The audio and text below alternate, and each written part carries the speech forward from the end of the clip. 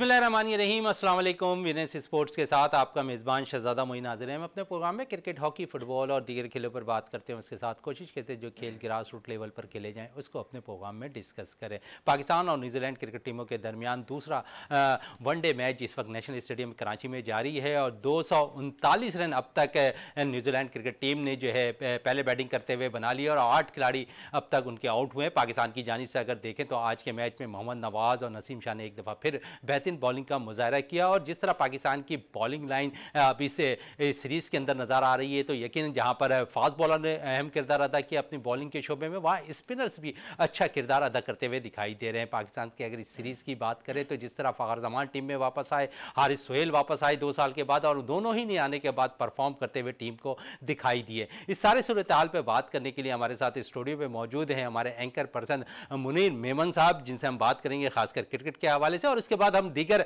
हमने स्टोरी पे मदू किया है। दीगर खेलों से वाबस्ता एमएमए और जुडिस्टो के खिलाड़ियों को भी इसके तरह मुनीर मेमन से बात कर लें, उसके बाद फिर इन खिलाड़ियों से भी आपका तारुफ कराते हैं, उनसे बात करते हैं। मुनीर दो रन स्कोर हो चुके हैं और आठ विकटें गिर चुकी न्यूजीलैंड की। तो क्या कहेंगे, इस मैच के हवाले से बड़ा ज़बरदस्त मैच जा रहा है। एक वक्त ऐसा लग रहा था कि बड़ा स्कोर करने में कामयाब हो जाएगी न्यूजीलैंड के कप्तान कैन विलियमसन बड़ी ज़बरदस्त बैटिंग का मुजाहरा कर रहे थे, लेकिन फिर पाकिस्तानी बॉलर्स ने एक दफ़ा फिर उन पर अटैक किया और जिस तरह वो एक दफ़ा फिर आउट हुए तो पाकिस्तान की एक राह कम आउट करने पर जो है, नज़र आ रही है कि पाकिस्तान अब आसानी जो है, इस मैच में गिरफ्त मज़बूत नज़र आती दिखाई दे रही है। अच्छा शहजादा साहब पहले तो आपको बहुत बहुत शुक्रिया कि आपने मुझे प्रोग्राम में मदू किया।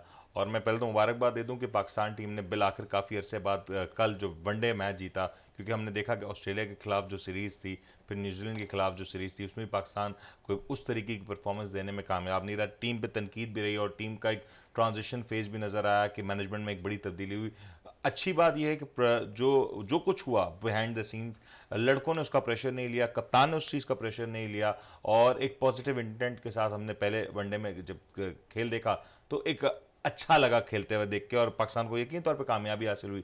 आज का मैच इस लिहाज से बड़ा इंटरेस्टिंग था क्योंकि हम सब जानते हैं कि न्यूजीलैंड ने बड़ा तगड़ा आना था और न्यूजीलैंड उसी अंदाज से आ भी रहा था। आ भी रहा था। और एक वक्त में डेव कॉनवे और केन विलियमसन की जो पार्टनरशिप थी ऐसा महसूस हो रहा था कि कम से कम ये तीन सौ तीन सौ रन का जो टारगेट है वो तो यकीनी नज़र अच्छा, इस दौरान एक विकेट मजीद गिर गई है मुझे नवी विकेट का नुकसान हाँ, उठाना पड़ा है अब तो इस तरह सूर्यताल अब चेंज होती नज़र आ रही है। पाकिस्तानी बॉलिंग जिस तरह नसीम शाह की बात करें तो पिछले मैच में पंजाब उन्होंने आउट किया लेकिन इस मैच में भी अब तीन विकेटें हासिल कर चुके हैं नसीम शाह और पाकिस्तान बल्कि दुनिया के सबसे ज़्यादा विकेट टेकर बॉलर बन गए हैं। उन्होंने पाँच मैचेस के अंदर सबसे ज़्यादा विकेट हासिल करने वाले। ये खूबसूरती है पाकिस्तान क्रिकेट की और पाकिस्तान में आप देखें सेटअप मौजूद नहीं है लेकिन रॉ टैलेंट की बेस पे नसीम शाह जैसा आपको टैलेंट नज़र आता है। और इतनी कम उम्र में इस तरह के अंदाज से बॉल करना इस लेवल पे आके बॉलिंग करना और इन पिचेस के ऊपर बॉलिंग करना मेरे ख्याल से तो किसी भी बॉलर के लिए इन पिचेस के ऊपर बॉलिंग करना वैसे एक बड़ा जुल्म होगा। लेकिन नसीम शाह के साथ साथ अगर मैं दूसरे बेंच की बात करूँ तो शाहनवाज दानी बेंच पे बैठे हैं मोहम्मद हसनैन बेंच पे बैठे हैं। तो जिस तरह पाकिस्तान का बेंच मज़बूत नज़र आ रहा है शाहिन शाह आफरीदी के बगैर भी बहुत मज़बूत बेंच नज़र आ रहा है फास्ट बॉलिंग का। ये बहुत अच्छी आपने निशानदेही की कि फास्ट बॉलिंग में पाकिस्तान का जो बेंच है, बहुत मज़बूत है और मुस्तकम है। और मैं उम्मीद ये भी करूँगा कि आज अगर पाकिस्तान इंशाल्लाह मैच जीत जाता है तो तीसरे मैच में नसीम शाह समेत दीगर जो प्लेयर्स हैं, जो खेल रहे हैं रेगुलर उनको रेस्ट दिया जा सकता है और बेंच स्ट्रेंथ को अच्छा, मुकम्मल तौर पर आजमाया बिल्कुल बेंच की बात कर रहे हैं आजमानी की बात कर रहे हैं तो हमारे जो boom boom Lala chief selector मुंतखब हुए और जिस तरह वो फैसले देते दिखाई दे रहे प्रेस कॉन्फ्रेंस में भी उन्होंने कहा बूम बूम लाला ने कि जो भी खिलाड़ी हम मुकम्मल तौर पर अपने फास्ट बॉलर को भी रेस्ट देंगे और उसके साथ स्पिनर्स को बैटर्स को भी रेस्ट देंगे जो अगर हम सीरीज़ में कामयाब हो जाते तो। यकीन आज से उम्मीदें वाबस्ता शायद होती दिखाई दे रही है कि अगर पाकिस्तान आज का मैच जीतता है सीरीज़ अपने नाम करता हो तो तीसरे मैच में हम देखेंगे जिस तरह बहुत सी आवाज़ें शान मसूद के लिए आ रही हैं शाहनवाज धानी के लिए आ रही हैं और फिर नौजवान बैटर ताहिर तैयब बेंच पे बैठे हैं तो यकीन उनको चांस मिलेगा ग्रूम होंगे कामरान गुलाम बैठे हैं तो पाकिस्तान के लिए एक बेंच स्टैंड मज़बूत नज़र आ रही है वर्ल्ड कप से कबल। अच्छा लाला की बात यह है कि बूमो अंदाज और उन्हीं उसके अंदाज में उन्होंने टीम का अनाउंसमेंट भी किया। और मैं एक बात बिल्कुल ऑनर कहना चाहूँगा कि इससे पहले बहुत सारे लोग आए जो हमारे ग्रास रूट सिस्टम का हिस्सा रहे और उन्होंने बड़ी सारी बातें की कि हम ग्रास रूट में जो परफॉर्मेंस हैं परफॉर्मर्स हैं, उनको जानते हैं, मिले हुए शायद लाला का उस तरीके का इंटरेक्शन उन लोगों से ना हो, लेकिन लाला ने बहुत अच्छा काम ये किया कि जो डिजर्विंग कैंडिडेट्स थे, उनको ना सिर्फ़ टीम का हिस्सा बनाया स्क्वाड का हिस्सा बनाया, बल्कि मेक श्योर भी किया कि वो किसी ना किसी तौर पे कप्तान की स्ट्रैटी के साथ अलाइन होकर वो खेलते हुए भी नज़र आए। और हमने ये भी देखा कि जिस अंदाज से फकर जमान की वापसी हुई कोई ईगोज नज़र नहीं आया यहाँ भी हम देख रहे हैं कि जो दूसरा मैच हो रहा है, इसमें भी एक अच्छी परफॉर्मेंस है। ओवरऑल अगर आपका जो मोमेंटम पॉजिटिव बनता है तो मुझे नहीं लगता कि तीसरे मैच में इन लड़कों को चांस नहीं मिलेगा। और इससे एक बहुत बड़ी बात यह हो रही है कि ना सिर्फ़ इन लड़कों का कॉन्फिडेंस बहाल हो रहा है, लेकिन इस बेंच के अलावा बहुत से लड़के हैं। आप जानते हैं, आपकी इंट्रेक्शन होती है। उनमें एक उम्मीद नज़र आ रही है वो कह रहे कि नहीं अब जरा अब कहीं ना कहीं उम्मीद है कि उनको भी उनको भी चांस मिला। अच्छा चांस की बात हो। रही है तो मुनीर बड़ी ज़बरदस्त बात लाला ने भी कही है और वो ये, ये करते हुए भी दिखाई दिया। उन्होंने बाकायदा तौर पर प्लेयर से वन टू वन मुलाकातें की वन टू वन फ़ोन किए उनको पर। ये एक अच्छी चीज़ है कि बाकायदा तौर पर उनके फिटनेस का जायजा भी वो खुद लेते हुए दिखाई दे रहे हैं तो ये एक अच्छा साइन है। ये वही कर सकता है जो आपके गोल जो मुल्क का जो गोल है ना उसके साथ मुखलिस हो और क्रिकेट को जानता हो। लाला इन प्लेयर्स की पल्स को जान चुके हैं और लाला के बारे में आप भी जानते हैं कि जब वो खेल रहे थे तो उनको इस तरह के बड़े सारे मुश्किल का सामना करना पड़ा। बहुत टैलेंट होने के बावजूद शायद शायद आफरीदी बहुत से ऐसे मैचेस खेल सकते थे जो नहीं खिलाया गया। आफरीदी ने उस ज्यादती को या उन महरूमियों को महसूस किया और अब वो वही कोशिश कर रहे हैं कि जहाँ दूसरे लड़कों के साथ वो नाइंसाफियाँ हो रही थी माजी में उनको मौका नहीं दिया जा रहा था उनको नजरअंदाज किया जा रहा एक होता है मौका ना देना एक होता है असर नजरअंदाज करना एक तरीके से रूल आउट करना कि ये तो अब इसका तो अच्छा रूल आउट की बात करें नजरअंदाज करने वाली की बात कर रहे हैं आप तो हारिस सोहेल दो साल बाद टीम में आए और जिस तरह वो बैटिंग कर रहे थे ऐसा नहीं लग रहा था कि वो टीम के साथ जो है रिविजिंग करते हुए नज़र आए और टीम के साथ रहते हुए भी नज़र नहीं आ रहे थे लेकिन उनका जो परफॉर्मेंस था जिस तरह उनके बल्ले से रन उगलता दिखाई दिखाई दे रहा था। तो यकीनन उम्मीद थी कि पाकिस्तान अच्छा इसको चेस करता हुआ दिखाई देगा और बासानी चेस करता हुआ भी दिखाई दिया हारिस सोहेल की बैटिंग का एक बड़ा किरदार था और मैं अभी भी ये समझता हूँ कि सारी जो बैटिंग थी अपनी एक जानब यकीनी तौर पर थी और सबने अच्छा खेला।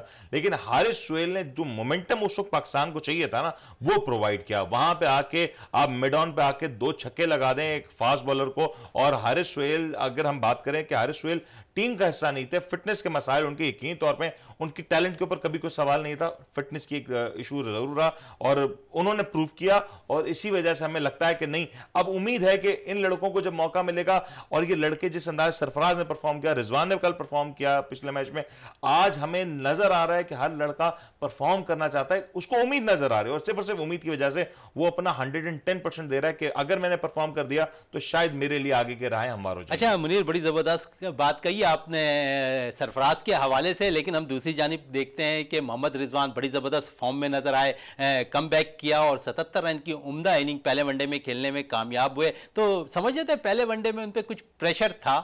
मेरे ख्याल से रिजवान जिस अंदाज से क्रिकेट खेलते हुए आए हैं, वो प्रेशर लेते हुए और सरफराज का भी कुछ ज़्यादा मुख्तलिफ़ नहीं है। सरफराज ने भी जिस अंदाज से टीम में जगह बनाई थी, पहले भी वो बड़े सारे मुश्किल मराइल को तय करते हुए आए थे और मैं एक सोच, मुझे नहीं समझ आ रही कि क्या वजह है कि ये दोनों आज भी वनडे के स्क्वाड का हिस्सा हो सकते हैं।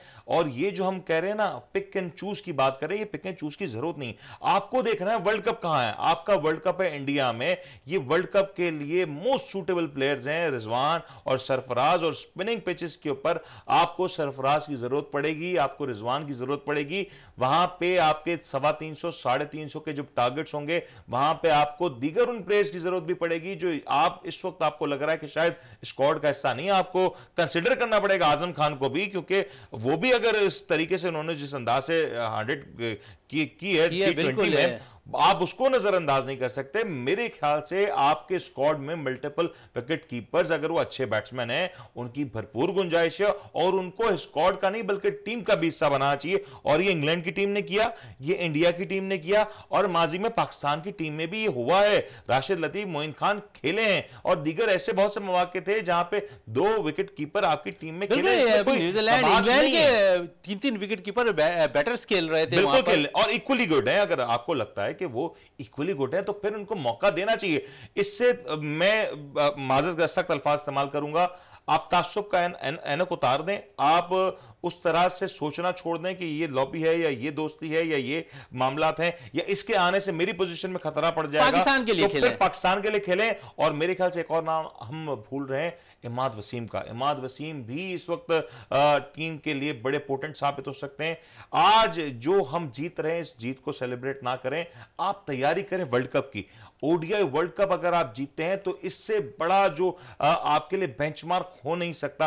टी ट्वेंटी वर्ल्ड कप ज़रूर अच्छा Munir one day one day ODI world cup होने वाला है जिस तरह बेंच हमारी मज़बूत होती जा रही है और जिस तरह सिलेक्शन होती जा रही है हम कुछ अरसे पहले जो है मिडिल ऑर्डर पर रोना रोते थे लेकिन शायद अब हारिस सुहेल उसके साथ सलमान अली आगा फिर मोहम्मद रिजवान थोड़ा सपोर्ट करने के लिए वसीम जूनियर हमारे साथ मौजूद है फिर नवाज़ भी अच्छी खासी बैटिंग कर लेते हैं। तो पाकिस्तानी स्क्वाड आपको लग रहा है कि इतना मज़बूत होता जा रहा है कि दीगर टीम को हराना जरा मुश्किल होगा वनडे क्रिकेट में। नहीं, एक आपने बड़ी ज़बरदस्त बात की कि बेंच स्ट्रेंथ हमारे स्ट्रांग है, लेकिन बैक भी स्ट्रांग होनी चाहिए। इन प्लेयर्स को आपको पूल में रखना है, इनकी फिटनेस का ख्याल रखना है और आपने ये इंश्योर करना है कि ये जो हम हमारे अक्सर प्लेयर्स लीग्स खेलने जाते हैं और यकीनी तौर पर उनका राइट भी है। लेकिन कौन सी लीग्स कितने दिनों तक वो खेल सकते हैं, इसका एक फ्रेमवर्क होना चाहिए पॉलिसी होनी चाहिए और फिर आपको वो तैयारी रखनी है कि आपका कोई भी प्लेयर एक्सेस क्रिकेट ना खेल रहा हो। आपने दो या तीन मैचेस खिलाए आपने रेस्ट कर दिया, आपने दूसरे को मौका दिया। इससे ना सिर्फ़ आपकी बेंच स्ट्रेंथ स्ट्रांग होगी आपके पास ऑप्शंस बढ़ेंगे और मैं यहाँ पे आफरीदी की वो बात भी कोट करना चाहूँगा, जो उन्होंने सिलेक्शन कमेटी के अनाउंसमेंट किया जब टीम को तो उन्होंने कहा कि हम बाबर आज़म को ऑप्शंस देना चाहते हैं कि वो अपनी टीम को अपने अंदाज में सिलेक्ट कर सके और एक बेहतर कैप्टन बन सके। मेरे ख्याल से आपको 16 नहीं वर्ल्ड कप वर्ल्ड कप के लिए आपको शायद 24 से 25 नाम कम से कम आपको साइड पे करने होंगे। उनको भरपूर तौर पे फोकस करना होगा और हो सकता है आगे पीएसएल है आपको ऐसे बहुत से नाम और भी नज़र आए जो शायद बहुत बेहतर परफॉर्म करें। लेकिन उनकी जो सिलेक्शन है, वो सारी की सारी होनी चाहिए इंडियन पिचेस को देखते हुए। इंडिया में क्या कुछ होगा और वहाँ पर सबसे बड़ी बात, आपका टैलेंट तो अलग मौजूद है, लेकिन वहाँ पे प्रेशर ऑब्जॉर्व करना आना चाहिए। वहाँ पे जो क्राउड का जो प्रेशर है, उस प्रेशर में कौन परफॉर्म कर सकता है? कौन परफॉर्म करता आया है शुएब मलिक को आप नहीं भूल सकते वो भी यकीन तौर पर अहमद शहजाद की बात करें ये वो प्लेयर्स हैं जो इंडिया में खेले हैं और उन्होंने परफॉर्मेंस दी है। और अगर ये इंडिया में वनडे की बात करें मेरे ख्याल से आप शुएब मलिक को बिल्कुल भी इसमें रूल आउट नहीं कर सकते सरफराज को रूल आउट नहीं कर सकते।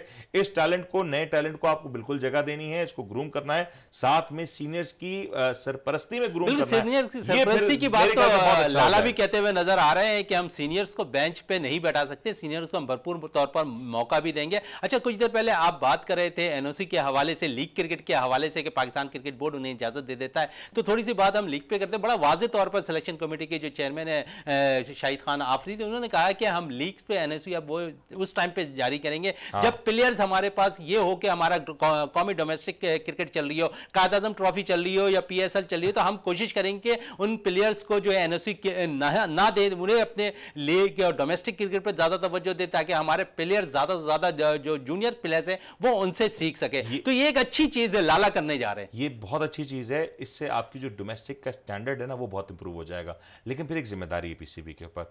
हमारे ग्राउंड्स का वो मैार नहीं, हमारी पिचेस का वो मैार नहीं। अगर आप उस लड़के को रोक रहे हैं कि वो दूसरे मुल्क में जाके उस उस मुल्क की क्रिकेट को या उस मुल्क की फैसिलिटी को एंजॉय ना करे, आपको अपनी फैसिलिटीज़ को स्ट्रांग करना पड़ेगा। और ये बात मैं फिर बताता चलूँ, अगर ये सारे प्लेयर्स सीनियर जूनियर और आपको याद है माजी में खेला करते थे आप शायद ही ऐसा कोई नाम है जो इन इस प्रोसेस से नहीं गुजरा और इंटरनेशनल टीम का ऐसा होने के बावजूद इन टीम्स में ना खेला। ये खेला करते थे और यही वजह थी कि इनकी सक्सेस थी।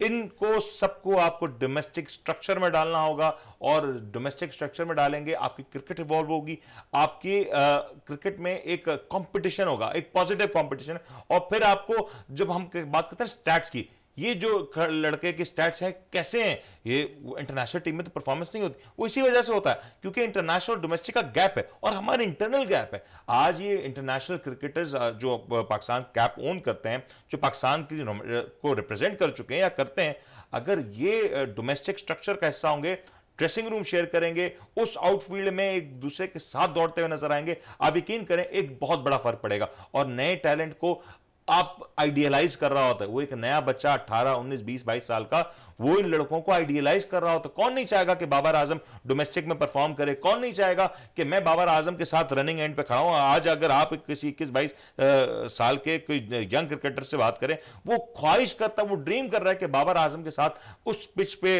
अगर दस पंद्रह मिनट उसको शेयर करने को मिल जाए वो ड्रेसिंग रूम का माहौल मिल जाए। वो जो उसकी ग्रूमिंग है वो आपका कोई कोचिंग मैनुअल नहीं दे सकता कोई कोचिंग स्टाफ नहीं दे सकता।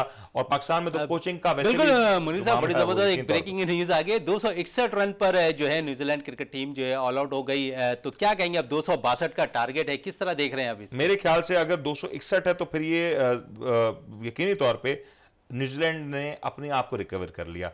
हम 280 की बात कर रहे थे 290 की बात कर रहे थे वहाँ से ऐसा लगा एक वक्त में कि सवा दो सौ भी नहीं होगा। अब 260 हो चुका है। टू सिक्सटी वन इस पिच पे इतना आसान नहीं होगा। पाकिस्तान को अच्छा खेलना होगा। और यहाँ पे अगर आपने थोड़ा सा भी न्यूजीलैंड को चांस दिया न्यूजीलैंड आपको छोड़ेंगे नहीं। न्यूजीलैंड ने अपनी गिरफ्त मज़बूत करनी है। आपने टेस्ट मैच में देखा कि टिम सऊदी ने जिस अंदाज में कप्तानी की वहाँ पे आप एक्सपेक्ट करेंगे कि ये जो सूरत हाल है इसको बड़े स्मूथली लेके चले आपके टॉप ऑर्डर को परफॉर्म करना होगा मिडिल ऑर्डर को परफॉर्म करना होगा। और ऐसे ही तीन या चार विकेट के नुकसान पर अगर पाकिस्तान इस टोटल को अचीव करता है तो मेरे ख्याल से पॉजिटिव होगा। लेकिन मैं फिर दोहरा दूँ ये दो सौ इकसठ रन आसान नहीं होने बिल्कुल मुनीर है। आपका बहुत बहुत शुक्रिया विनेस स्पोर्ट्स में टाइम देने का। जिस तरह पाकिस्तान क्रिकेट टीम ने जो है बॉलिंग की है दो सौ इकसठ रन पर न्यूजीलैंड की टीम को आउट कर दिया और दो सौ बासठ रन पाकिस्तान को टारगेट चेस करना है। तो पाकिस्तानी बैटर्स ने जिस तरह पिछले मैच में बड़ी उमदा कारकर्दगी दिखाई थी आसानी छः विकेटों से कामयाबी हासिल की थी तो यकीन है इस मैच में भी कोई बड़ा टारगेट नज़र नहीं आ रहा लेकिन पाकिस्तानी बैटर्स का एक दफ़ा फिर इम्तहान है कि वो इस टारगेट को चेस करते दिखाई दे और पाकिस्तान को इस मैच में कामयाबी दिखाएँ। इस वक्त ब्रेक के लिए कहा जा रहा है ब्रेक से वापस आते हैं तो गुफ्तु को मजीद जारी रखते हैं।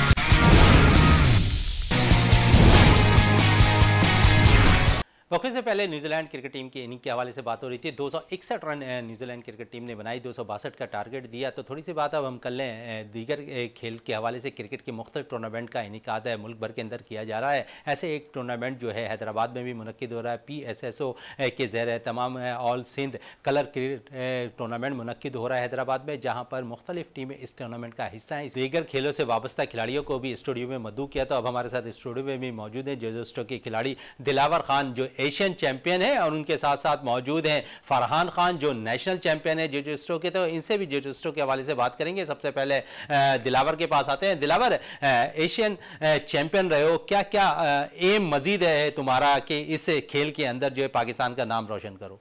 सबसे पहले तो आपको शुक्रिया कि आपने प्रोग्राम में मधु किया। इवेंट्स के हवाले से टारगेट हमारा भी यही है कि जो और अपर लेवल के इवेंट्स आ रहे हैं वर्ल्ड चैम्पियनशिप्स हैं एशियन गेम्स हैं एशियन इंडोर गेम्स हैं, उसके अंदर पाकिस्तान के लिए अचीवमेंट हासिल करें इसके लिए हमारा नेशनल कैंप लगा हुआ है पाकिस्तान स्पोर्ट्स बोर्ड में, वहाँ पे ओवर यानी ट्वेंटी फोर आवर्स हम उनके अंडर ऑब्जर्वेशन होते हैं, वहीं हम रहते हैं। और तकरीबन प्रॉपर तरीके से हमें वहाँ डाइट प्रोवाइड की जा रही है प्रॉपर ट्रेनिंग हो रही है मॉर्निंग ट्रेनिंग के अलग सेशन होते हैं इवनिंग के अलग होते हैं। और कभी कभार तीन टाइम भी सेशन हो जाते हैं हमारे ट्रेनिंग्स के तो फुल फोकस ट्रेनिंग इस वक्त हम कर रहे हैं। अच्छा ट्रेनिंग फुल फोकस कर रहे हो। एशियन चैंपियनशिप में तुमने पाकिस्तान की नुमाइंदगी की। वहाँ कौन सी टीम जो है आपको ज़्यादा टफ लगी इस गेम के अंदर? इस गेम में जो हमारा असल कॉम्पिटिटर है वो इस वक्त है थाईलैंड मेल कैटेगरी में फ़ीमेल के अंदर भी क्योंकि थाईलैंड को सपोर्ट बहुत ज़्यादा है गवर्नमेंट लेवल पे। उनको अच्छी फ़ूड प्रोवाइड किया जाता है उनको अच्छी ट्रेनिंग्स प्रोवाइड की जाती हैं। उनके इंटरनेशनल कोचेज़ हैं सारे, यानी फॉर एग्ज़ाम्पल थाईलैंड की टीम है तो उनके लिए जर्मनी से कोच आ रहे हैं, या किसी और यूरोपियन कंट्री से कोच आ रहे हैं, उनकी टीम्स पूरी वर्ल्ड में ट्रैवल करती हैं ट्रेनिंग सेशंस के लिए। तो एक प्रॉपर उन्हें फोकस ट्रेनिंग करवाई जा करवाते हैं। उसके बरक्स यहाँ पे हमारा क्या है लिमिटेड कोचेज़ हैं और एक लिमिटेड ट्रेनिंग है, एक लेवल होता है, उसके बाद आप आके वहाँ रुक जाते हैं। यानी कि बेसिक वजह यह है कि हम हमारे खिलाड़ी मजीद जो है जो इस खेल में निखार पैदा कर सकते हैं उसमें कोचेस का बड़ा अहम किरदार होता है। कोचेस के साथ साथ फ़ूड का भी बड़ा किरदार होता है। वो चीज़ें भी शायद पाकिस्तानी स्पोर्ट्स बोर्ड आपको मुहैया सही तरीके से नहीं कर रहा। एक लेवल तक वो करें जितना वो कर सकते हैं उतना करें लेकिन सिंपल सी बात ये कि हमें उसको अपग्रेड करना है। वो अपग्रेड उस तरीके से हो नहीं पा रही। वर्ल्ड वाइड बहुत अपग्रेड हो गई हैं चीज़ें। हम अभी उसी जो पैटर्न हमारा चलता है उसी पैटर्न पर चल रहे हैं तो इसको अपग्रेड करने की भी बहुत ज़रूरत है। बिल्कुल अपडेट करने की बहुत ज़रूरत है। फरहान आप नेशनल चैंपियन हो। तो यकीनन पाकिस्तान की जानब से दीगर ममालिक में भी आप खेलने, आपकी ख्वाहिश होगी। तो क्या तैयारियाँ अब तक की हुई हैं आपने? सबसे पहले आपको बहुत कि आपने हमें प्रोग्राम में मदद किया। ये हमारा नेशनल कैंप लगा हुआ है इंटरनेशनल के लिए, इवेंट आ रहा है एशियन गेम्स की। तो उसके लिए मेहनत कर रहे हैं। तो जिस तरह पाकिस्तान स्पोर्ट्स बोर्ड ने ये कैंप लगाया हुआ है, उनका शुक्रगुजार हैं। पर आपके प्रोग्राम के तवसल से उन्हें कहना चाहते हैं कि अभी हमारा पाकिस्तान में जो बड़ा इवेंट आया नेशनल गेम्स का उसमें नेशनल गेम्स में हमारे जुजुत्सो को उन्होंने आउट किया हुआ है। तो उनसे ये रिक्वेस्ट करना चाहते हैं कि नेशनल गेम्स में जुजुत्सो को इंटर करना चाहिए। ये जुजुत्सो वाहिद गेम है जो सबसे ज़्यादा मार्शल आर्ट में आपको मेडल दे रहे हैं इंटरनेशनल मेडल दे रहे हैं। मैं वर्ल्ड जूनियर फिफ्थ रैंकिंग है मेरी ठीक है? ये हमारे साथ सीनियर प्लेयर मौजूद हैं ये चैंपियन है। इस तरह अगर हमें मौके मिलते रहें तो हम अच्छा परफॉर्म करेंगे। स्पोर्ट्स बोर्ड से ये गुजारिश है कि हमें ज़्यादा से ज़्यादा मौके दें और हम अच्छा परफॉर्म करें मुल्क के लिए। अच्छा मौके की बात कर रहे हैं तो यकीनन है आप जैसे प्लेयर्स अगर आगे आएँगे तो जूनियर्स को मजीद और सपोर्ट मिलेगा। अगर मौके नहीं मिलेंगे तो जूनियर्स किस तरह आएँगे? सर ऐसे ही ये, ये अभी हमारा स्टार्ट है जिस तरह के हमारे खलील अहमद खान साहब ने जो प्रेजिडेंट है जुजुत्सो के, उन्होंने हमें मौका दिया। यही अगर इस तरह हम चलते रहेंगे, हमें इंटरनेशनल इवेंट मिलेंगे, हम ज़्यादा से ज़्यादा खेलते रहेंगे ये हमारी गेम आगे ग्रूम होती रहेगी। अगर एक जगह पे हम रुक जाएँ तो फिर हमारी जगह, हमारी गेम बिल्कुल एक स्टॉप हो जाएगी। स्पोर्ट्स बोर्ड का हमें, उनको चाहिए कि अभी ये हमें आगे वो प्रोवाइड करें फैसिलिटीज़ ज़्यादा बिल्कुल फैसिलिटीज़ प्रोवाइड करें। दिलावर जिसे फैसिलिटीज़ प्रोवाइड करने की बात हो रही है तो यकीन है किसी भी खेल में और किसी भी प्लेयर्स के लिए और ख़ासकर फेडरेशन या एसोसिएशन के लिए स्पॉन्सरशिप का किरदार बड़ा अहम होता है। समझ रहे हो कि इस गेम में स्पॉन्सर आते हुए दिखाई दे रहे हैं आपको? स्पॉन्सर्स अब आना शुरू हुए हैं बहुत टाइम बाद क्योंकि 2006 से पाकिस्तान जुडिट्सो जो है फेडरेशन पार्टिसिपेट भी कर रही है और मेडल्स भी विन करके आ रही है। अपनी मदद आपके तहत कर रहे थे उस वक्त। बिल्कुल ऐसा। है बहुत जैसे गेम्स वगैरह होते हैं एशियन गेम्स इसके अंदर सपोर्ट होती है गवर्नमेंट की। उसके अलावा जैसे नॉर्मल चैम्पियनशिप्स हैं वर्ल्ड चैम्पियनशिप या कोई वर्ल्ड रैंकिंग इवेंट है तो उसके अंदर हमें प्राइवेटली स्पॉन्सर्स के लिए मेहनत करनी पड़ती है उसमें सपोर्ट नहीं है इतनी ज़्यादा। बाकी अब स्पॉन्सर्स आना शुरू हुए हैं प्राइवेट स्पॉन्सर्स आ रहे हैं सपोर्ट कर रहे हैं एथलीट्स को जिजिट्सो के। अच्छा स्पॉन्सर्स भी आ रहे हैं लेकिन समझ रहे हो कि जिस तरह आप लोग मेहनत कर रहे हो ग्रास रूट लेवल से अगर मेहनत की जाए मज़ीद तो और प्लेयर इस गेम की तरफ़ आएँगे क्योंकि अब देखता हूँ कि ख़ासकर जो नौजवान गर्ल्स हैं वो बहुत ज़्यादा एक्टिव होती हुई इस गेम की तरफ़ आती हुई दिखाई दे रही हैं। बिल्कुल ऐसे इसके लिए हमें अवेयरनेस लोगों को करनी पड़ेगी क्योंकि हम अभी आहिस्ता से हमने स्टार्ट कर दिया अवेयरनेस देना लोगों को। और फीमेल्स के लिए जैसे आपने अभी ज़िक्र किया, बहुत ज़्यादा ज़रूरी है आजकल के हालात के हवाले से सेल्फ़ डिफेंस के हवाले से। कि सेल्फ़ डिफेंस के लिए जुजिट्सो से बेहतर कोई आर्ट नहीं है। क्योंकि इसके अंदर प्रॉपर आपकी स्ट्राइकिंग्स भी हैं थ्रोज़ भी हैं लॉक्स वगैरह चौक डिफेंस सब कुछ ओवरऑल एवरीथिंग आती है। तो फीमेल्स के लिए इस वक्त सबसे बेहतरीन आर्ट ये है। और हम और अवेयर कर रहे हैं फीमेल्स को कि ज़्यादा से ज़्यादा जुजिट्सो में आएँ पार्टिसिपेट करें।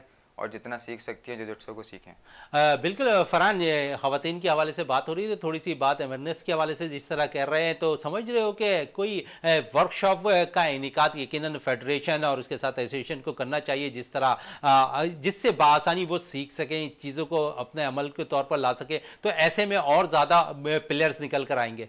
बिल्कुल आपकी बात बिल्कुल ठीक है। अगर इसी तरह वर्कशॉप लगते इस तरह अवेयरनेस आएगी गेम की। अगर एक ही जगह हम रोक जाएँगे गेम आगे नहीं बढ़ पाएगी। इस तरह अगर आप कह रहे हैं वर्कशॉप लगते रहेंगे तो हमारे प्लेयर आगे आते रहेंगे जुजुत्सो आगे बढ़ेगा। इस तरह हमारी हर गेम के लिए वर्कशॉप लगनी चाहिए। बिल्कुल हर गेम के लिए वर्कशॉप लगने चाहिए। दिलावर ये क्या समझ रहे हो कि स्कूल की सतह पे हम देखते हैं कि बहुत ज़्यादा बच्चे जो है इस तरफ़ अपने शौक में एमएम के शौक में जो है एमएमए के शौक में वो आगे की तरफ़ आते हुए दिखाई देते हैं। तो यकीनन उन बच्चों को भी बहुत सी इंजरी प्रॉब्लम भी हो जाती है। स्कूल्स टीचर्स को क्या चाहिए कि उन्हें प्रॉपर एक तरीके से जो इस गेम के लिए जो है उनको सिखाना चाहिए? ग्रास रूट लेवल की जैसे आपने बात करी तो उन्हें एक प्रॉपर एक सिलेबस के थ्रू इन्हें ट्रेनिंग स्टार्ट करवाई जाती है। अभी बहुत जगहों पे हो भी रहा है ग्रास रूट लेवल पे। चार साल के, पाँच साल के बच्चे स्टार्ट कर देते हैं जो जोजिट्सो तो उन्हें, उनकी एज के हिसाब से, उनके सिलेबस के हिसाब से उन्हें प्रॉपर ट्रेनिंग स्टार्ट करवाई जाती है। जैसे फिटनेस से स्टार्ट किया फिटनेस के बाद फिर आप उनकी टेक्निक्स पे गए। तो ओवरऑल एक पूरे शेड्यूल के थ्रू उन्हें ट्रेनिंग की दी जाती है।